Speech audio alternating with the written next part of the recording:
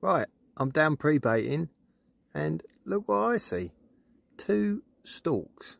I don't know what type of storks they are, but I've never seen a stork in England before. There was one here yesterday and now there's two.